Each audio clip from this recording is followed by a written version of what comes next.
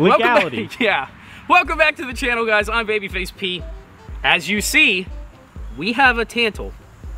Um, I've been instructed to spend 30 seconds trying to not talk about certain things, so uh, let's try this. Uh, if you want to join a Patreon, it's down below. If you want to buy a t-shirt, it's down below.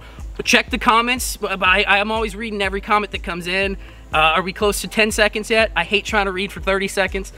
We're playing with the, uh, the, the algorithm of certain things to see what happens and doesn't happen. So, anyways, we have this thing in front of me. Uh, this is the Polish Tantal that we've been working on. And it's ready. It's ready to test. We are going to be test firing this today. Um, we have some wolf ammo, I want to say. And this is my one of my Russian Bakelites. Fits nicely. It's a little snug, but it actually fits pretty nice. Clicks in pretty nicely. We might do a little trimming to make it a little bit better. Um, the stock. I know I crapped on this really hard last video it's actually not as bad as I thought it was. It's not great.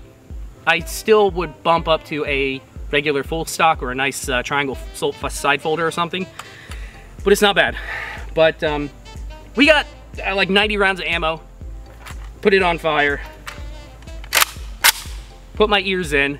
And let's just let's just blast off a couple and see will it run? What do you guys think? Leave a comment. Tell me uh, is it gonna go boom boom or is it gonna fire?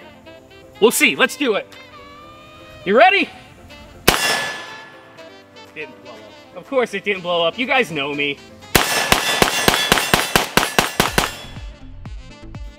That is a soft, soft shooting gun. Um, this brake is incredible.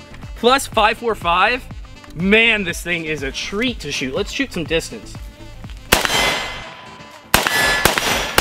Those sights, I haven't put the sights on. Uh, we did a pretty good job lining them up because obviously they're right on with the steel. Let's shoot past the tree.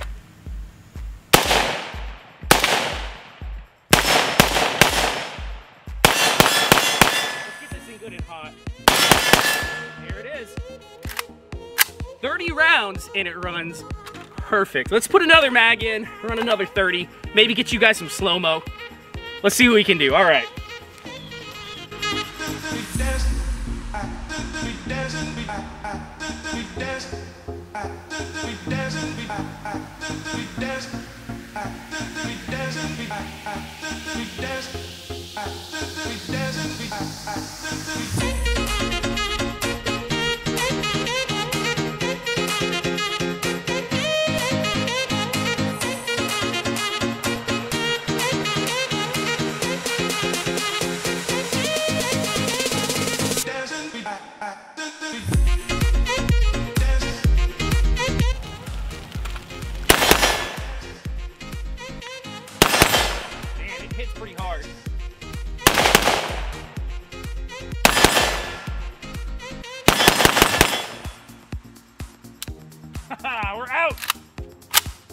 You go.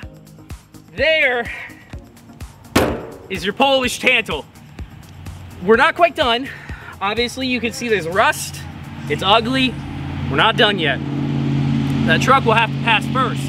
There is your Polish Tantal. This thing is, I gotta say, uh, the more I shoot 545, the more I love it. It's just my favorite caliber. It's such a good caliber. Ugh, it's soft, it's light. It's the same-ish as 5.56. It's just hard to get. Somebody, please bring in more 5.45. So, what was I saying? We're not quite done yet. We still have a little bit more. Needs to be refinished. We're to do a park on this gun, and I'm to show you guys how to parkerize the gun. Um, not something you... Nah, you could probably do it at home. We'll figure that out. Uh, I'm to do it in a professional setting. I'm to take it to Safety Harbor Firearms and use his park tanks. But if you have the same or similar equipment, you could probably make it work. We also are going to run the, uh, we have the VZ88 side rail that needs to be riveted in. So we're also going to do a video on that. We will do that before we park it. We may do that after we park it. I'm not quite sure because I, I, might I probably want to get the parking underneath it. So we'll probably park it and then add the side rail.